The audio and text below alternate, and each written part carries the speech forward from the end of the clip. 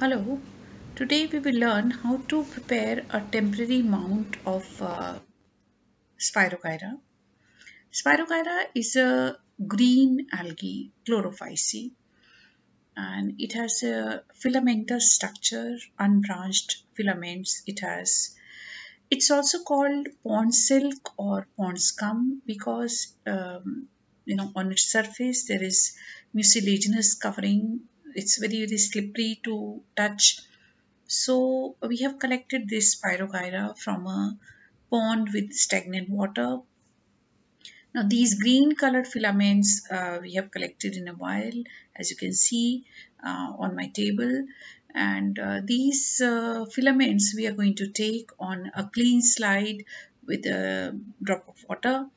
And uh, we are going to use a stain a red colored stain safranin for it. Uh, now safranin is a very general stain it will uh, you know it mm, the dense part of the cells will take more stain and the you know less dense part will take less stain so that color uh, gradient you will be able to see under the microscope. Uh, now the spirogyra term has come because of the special uh, spiral-like uh, arrangement of the chloroplast. Different species of uh, Spirogyra have about 2 to 8 uh, chloroplast in them which are spirally arranged and uh, we are going to prepare a slide and study the structure of the cell of Spirogyra.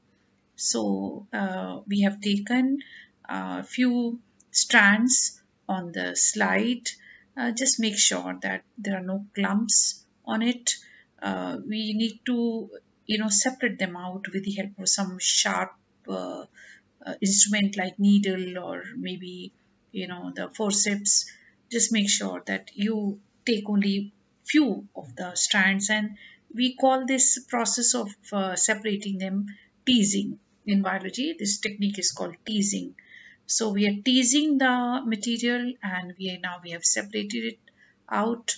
Um, now is the time to put some stain. So we are going to put um, about one to two drops of uh, this red stain safranin on top of the spirogyra and uh, we should wait for about at least for one minute. You can even wait for two minutes. Uh, now after two minutes uh, we are going to remove the extra stain using edge of the blotting paper just make sure that uh, you know your uh, spirogyra um, filaments do not just run away uh, along with the blotting paper.